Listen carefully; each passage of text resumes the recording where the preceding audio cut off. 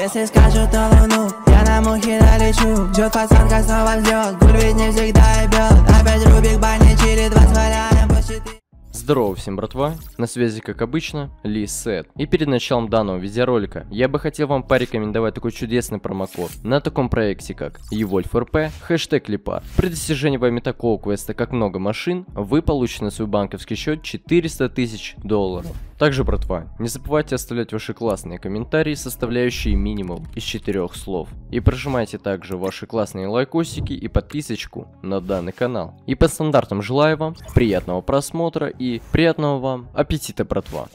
Первый игрок, который попадет у нас на проверку, это Станиш Пак Босс. Снес этому игроку довольно-таки очень много аккаунтов. При каждом моменте ему ничего не имется. Каждый раз он, в принципе, пытается доказать тот фактор, то, что он играет не без каких-либо читов. Цибак у него довольно-таки очень классный и четкий. Не использует он никакие цибак-хелперы. На постоянной основе заливает на меня жалобы на форуме. Все наказания, естественно, выданы верно. Но именно почему хочу начать именно с этой проверки, сейчас вам все и покажу. Я уверен, что есть люди, которые уже обратили внимание на то, какой у него очень максимально кривой цибак. В основе такой цибак появляется от того, что вы используете цибак-хелпер от Рампаги. В каждой жалобе его описание таково, что Лепард меня тпхнул на проверку, позвал в Дискорд, я сворачиваю игру, естественно, ничего же не могло повлиять на то, что у него на постоянной основе крашится просто так GTA-шечка. Ни одну проверку он у меня так и не прошел на протяжении четырех его улетевших аккаунтов как минимум. При каждом моменте, как только я сворачиваю игру, ее разворачиваю, у него моментально всегда краш. И сейчас я вам покажу, почему эти краши на постоянной основе у него так часто вылетают. Сделал видос, как я PlayStation на блядь. Ну, это, это, смешно, блядь, за авто плюс событий варнить. Хотя бы ты пыхнул бы на проверку, блядь, что ли. Хотя бы ты пыхнул бы на проверку, блядь, что ли. Рампага, экстрим, хуи, блядь. Вместе вообще вахуй, блядь.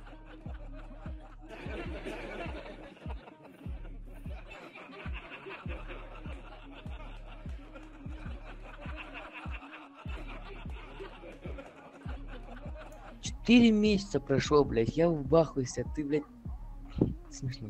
Поначалу данный игрок утверждал то, что у него нету никаких типа читов. Я стал ему скидывать разноплановые там пруфы, переписки насчет него, то, что мне все посливали. Человек стал отмазываться, то, что это было там 4 месяца назад. В таком контексте, то, что это было давно, это уже все прошло. Но я, как понимаю, думаю, что все среди админов там тупоголовые. И, например, там уже мне неизвестно то, что тоже Спенсер, он может просто забыть и не отвязать подписку, как это, в принципе, произошло с ним.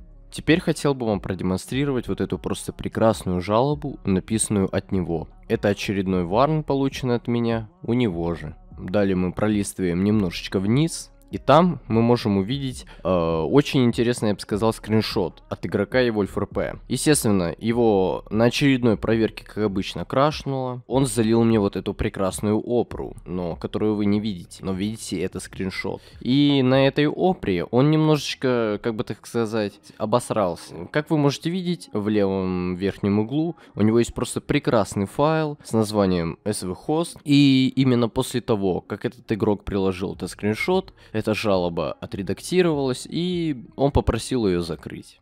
Следующий скилловый игрок, который попал у нас на проверку, это стал Лева Крестовский. Парень довольно-таки неплохо попадал на ОГ, но произошла такая немного странная ситуация. Я не знаю, что-то у него щелкнуло в голове. Он просто решил флудить на ДМ Лакету, что у него есть Extreme Cheats. Э, это, конечно, было очень странно, и именно по этому фактору я уже думал, то, что нужно его все-таки телепортировать на проверку, поскольку я нафарпсил на него Дакво. Если бы он даже отказался от проверки, я бы вполне уже мог выдавать ему наказание. Как оказалось, на проверку он все-таки согласился. А, как таковых у меня, в принципе, подозрений на то, что он играет с щитами не было. Я у него попросил там показать мне консоль Самфанкса. Ничего там не оказалось. А, реестр. В реестре тоже ничего не оказалось. А, далее я попросил его ввести в процесс хакере одну прекрасную команду, которая показывает то, что есть у игрока экстрим или нет. Как оказалось, у Левы все-таки находился экстрим хак. В дальнейшем, как я понимаю, Лева даже поинтересовался там у главного администратора. И мой главный админ просто с него поржал, то, что он поинтересовался, что же все-таки это такое. Но он ему разъяснил то, что это его логин от экстрима. Но, как я вам ранее и говорил, любой чит, какой вы только бы не отгружали, там, будь то экстрим или рампагу, все абсолютно можно найти досконально.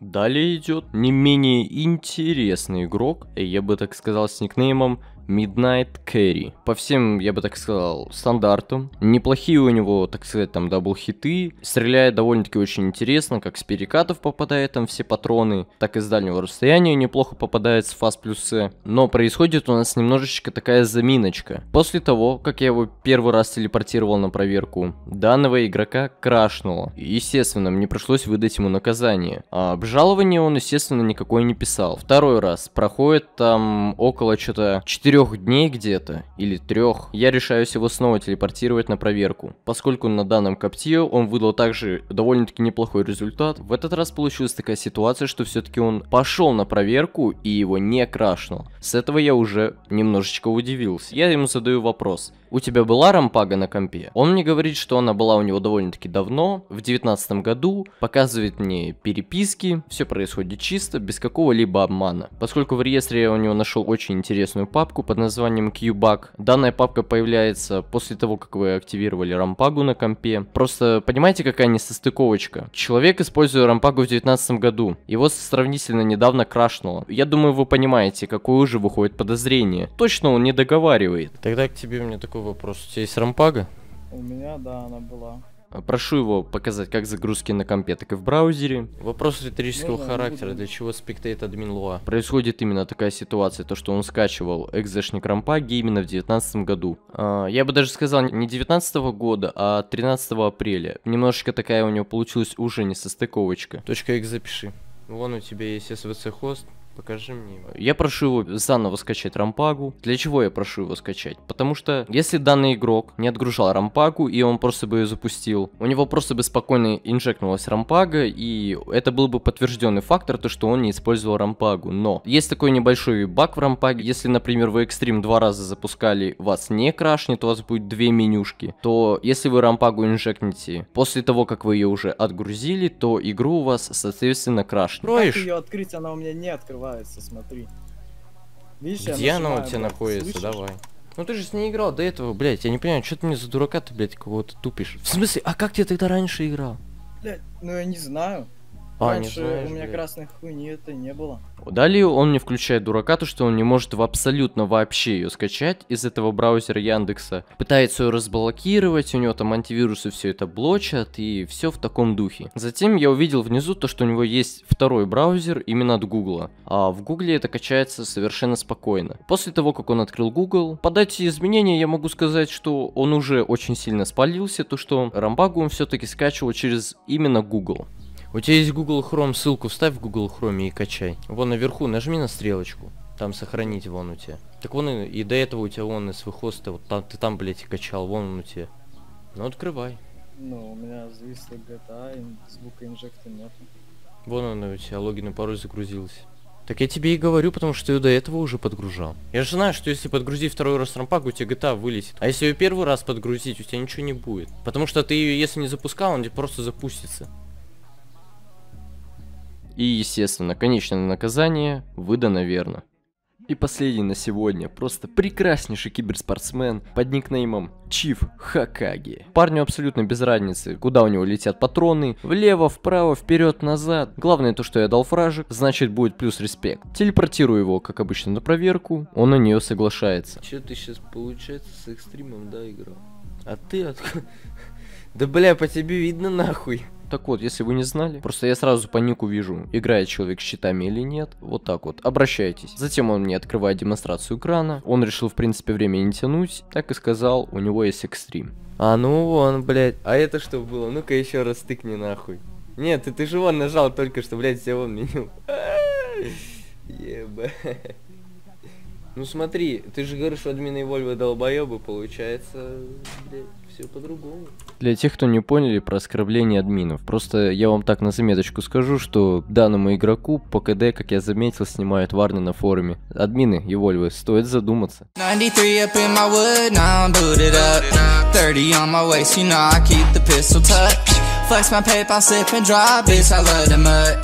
Told that little hoe on my next, now she showing.